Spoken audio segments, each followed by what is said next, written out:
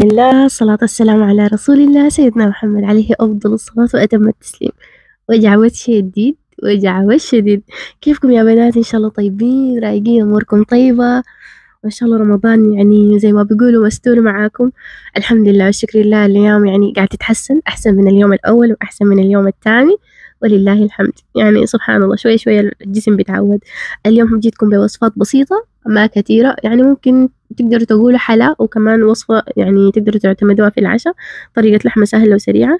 هنا حبيت أوريكم الحمص بالحلة اللي هو حلة الضغط الكهربائي. آه بمسك معاكي زمن قدر شنو؟ أنا دايما قاعدة أخد عليه موية دافية ما كتير وباخد عليه زي نص فنجان من الزيت عشان بعدين يكون فيه كده زي ما بيقولوا زي لمعة كده للحمص تمام؟ الحلة دي ممتازة. للناس اللي حابين يجيبوا الحلة دي أو مفكرين أو مثلا عندهم شك يعني لسه بتشكوا يعني أجيبه لا ما أجيبه الحلة دي مريحة لدرجة كده ما بتتخيلوها. جيبوها طوالي. يعني الحمص بياخد معاي تقريبا أخد معاي خمستاشر دقيقة. ما تزيدي عليه ولا تنقصي ثانية. خمستاشر دقيقة وبيطلع معاكي ما شاء الله تبارك الله. وبرضو اليوم عملت به كان البليلة الثانية العدسية. آه، أخد معاي العدسية 13 دقيقة لأنه العدسية هو آه نضج بيكون أخف من الحمص. 13 دقيقة والحمص 15 دقيقة. ما شاء الله تبارك الله. يعني أول حاجة ما بيعمل صوت ما بيعمل ضجة ما بيعمل لك أي حاجة. تخلص أمورك كده زي ما بيقولوا كتامي سكاتي كده. ما ما بيكون في حركة للحلة. آه المهم حبيت يعني إنه الناس اللي عاوزين يشتروا الحلة دي ممتازة جدا. أخدوها. وهنا حبيت أوريكم الطريقة اللي أنا بعمل بيه اللحم. ممكن تعتمديه كزيادة في الإفطار لل... لما تكوني عاملة فول مثلا. أو كمان تس... يعني تعمليه في العشاء.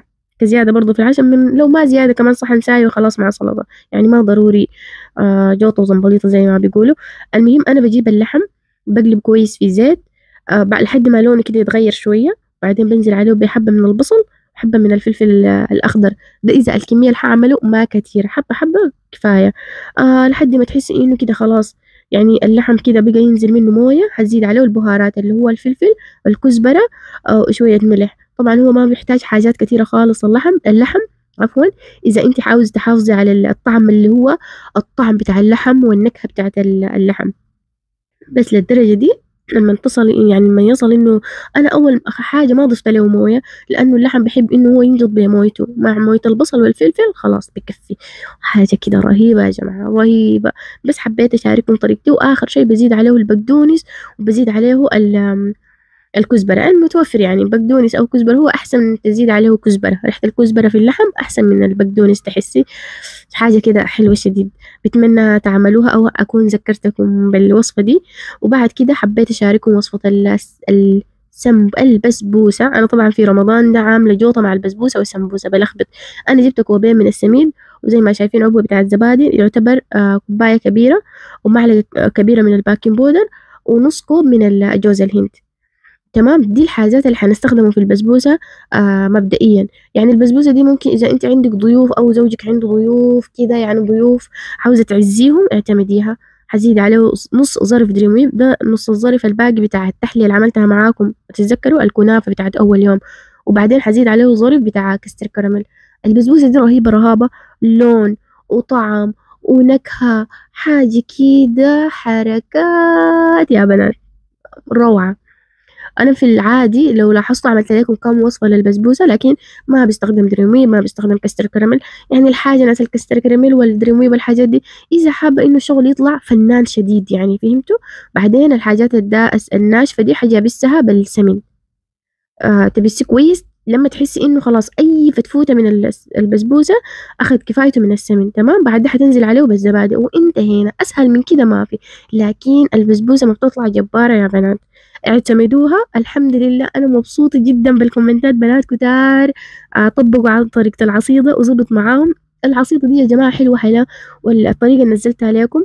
أول حاجة خفيف على المعدة وغير كده سهل جدا سهل سهل وممكن تعمليه قبل الإفطار بنص ساعة. تمام؟ آه هنا عملت لكم ال ال ال حبيت أوريكم إنه قوام البسبوسة بتكون كيف.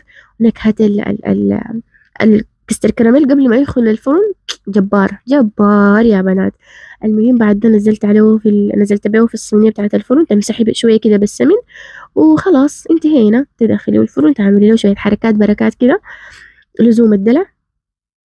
بس جبت اللي هو سكين. عملت له كده إشارات عشان أعرف أخد المكسرات اللي حابة أنواع المكسرات اللي انت حابة تخطي سواء عاوزة تخطي مثلا لوز أو عاوزة تخطي مثلا لوز ده لو بعد ما يطلع من الفرن عشان ما يتحمر معاك شديد تمام؟ إذا عاوزة تخطي جوز أو إذا عاوزة تخطي عين الجمل حاجات زي دي يعني تمام؟ بعد ده حتدخليه الفرن. أنا خليته أول حاجة لو أنت عاوزة مثلا البسبوسة أو الكيك يطلع لك درجة الدرجة بتاعت الارتفاع كده متساوية. الفرن أول ما تشغليه شغليه الفوق والتحت مع بعض مش بيكون في تحت وفوق فوق وتحت مع بعض شغلي فوق وتحت مع بعض. مسافة قولي زي مثلا سبعة دقايق خمسة دقايق. بعد ما تحسي إنه اتنفخ خلاص بعد ده أعملي أنزل اللي تحت يعني شغلي تحت أقل من عشرة دقايق تقريبا حيكون إذا نوع الفرن بتاعك آه، ممتاز درجة الحرارة. والفوق ما بياخد معاكي أقل من أو أكتر من خمسة دقايق يتحمر بس. هنا بدأ يتنفخ. أنا هنا كنت مشغل الفوق والتحت مع بعض. تمام؟ طلع جبار طلع رهيب رهيب شديد. آه بتمنى يعني الوصفة تعجبكم. وبعد طبعا الناس الحركات والبركات اللي دايما بنعمله في رمضان ده اللي هو الشيرة أنا دايما قاعدة أقول لكم الحلويات. إذا يطلع مع عشان يطلع معاكي ظابط. الشيرة تكون باردة والبسبوسة تكون سخنة. أو الشيرة تكون سخنة البسبوسة تكون باردة. وفي رمضان إذا أنتوا عملتوا الشيرة من بدري خليتوه آه كتير يعني آه بفيدكم يعني بيكون في التلاجة الحاجة أول ما يطلع من الفرن دخليه وخلاص هنا حبيت أعمل لهم شوية حليب محلى الحليب المحلى طبعا بديه طعم كده جبار شوية. المهم بعد ده شوية زينة كده وحركات بركات اللي بنعمله كده يا بنات خلاص انتهينا. إن شاء الله الوصفة تعجبكم يا بنات. وما عارفة حبيت إن أنا حسيت إن أنا عاوزة أتونس معاكم شوية. قلت أديهم الوصفتين دول اللي دايرة تلحق تعمل في العشاء تعمل واللي بكرة دايرة تعمل فول تزيد معاه في تزيده في الافطار أنا الافطار الليلة ما عملت لكم شوربة صح؟ ليه؟ لأنه عندي شوربة من امس وعندي شوربة من أول امس شوية شوية. فقمت عملت شنو عملت mix كده وأديتهم بكرة إن شاء الله. بإذن الواحد الأحد عاوزة أعمل لهم شوربة كده جبارة وأكيد إن شاء الله حنزل لكم الطريقة. ربنا يسهل الأيام. شايفين هنا ارتفاع البسبوسة كيف؟ جبار حلو شديد. بتمنى تجربوها. تمام؟ بعد ما عارفة حبيت أتونس معاكم حبيت أشارككم كده فيديوهات من اللي اللي هو الفيديوهات اللي, اللي أنا بحبها. آه سفري كان في سفرياتي في السودان.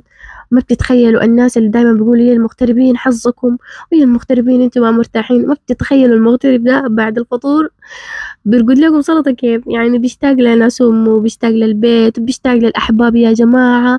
سبحان الله. يعني أنا ما بقول مثلا السودان بس أنا يعني مثلا بمثل السودان. لكن أي إنسانة قاعدة بعيد من أهلها حتحس بالإحساس ده.